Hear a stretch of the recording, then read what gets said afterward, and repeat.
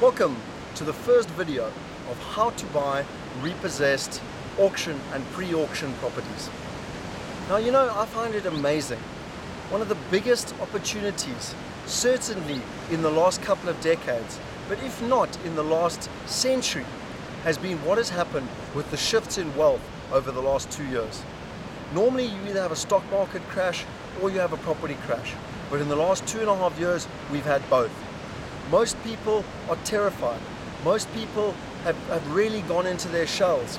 But those wise, educated investors have taken advantage of this opportunity. I watched in London the transfer of wealth and how people became millionaires, multimillionaires, and billionaires by investing in the early 90s, which was the last property crash in the UK. And today they're retired, living off their passive income. In South Africa, most of the wealthy investors, both in residential and in commercial, made their significant purchases between 1998 and 2002. So what I'm here to do today is to provide you with the knowledge so that you can take advantage of the opportunities which sit that we have today.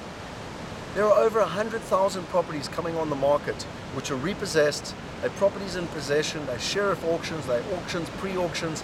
Ultimately it's distressed sellers. Dr. Dolf de Roos from Real Estate Riches, one of the first property books I ever read, one of the most well-known property investors worldwide, his number one rule is always buy property from a distressed seller. But the key is you need to know how to do it. You need to know that there's five different phases. You need to know that there's a lot of risks involved in the different phases. There's also a lot of opportunity, but you need to know how to manage those risks so that you can take advantage of those opportunities. Depending on your personal circumstances, it might be better to do it in one stage rather than another. So I'm here today, this is the introductory video. I decided to film it in Plettenberg Bay, it's the beginning of 2011. The reason I did it was that Plettenberg Bay is some of the most sought after real estate in South Africa. If you were playing Monopoly, this would certainly be up there and be one of the most expensive parts of the board. And that is what property is all about. But this is not the type of property you want to be buying to build up passive income and to build up your financial success. This is holiday home. The beauty with these type of properties is that when you get it right, when you build up your passive income and your massive wealth, then you can come one day and you can buy one of these properties for cash and you can get to live in this fantastic environment. But today is not about that. Today is about educating you and to helping you, letting you know what's all encompassing.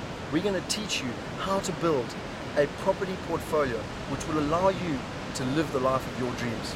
So if that's something of interest to you, please sign up and we will keep you updated, educate you and teach you so that you too can do it. And if it's something that interests you, let your friends and family know about it because this really is going to be a very valuable ride. And if you get it right, you'll be able to take advantage of the massive opportunities, not only in this country, but worldwide, and set yourself up for life. If that's something you would be interested in, I look forward to taking you on this journey.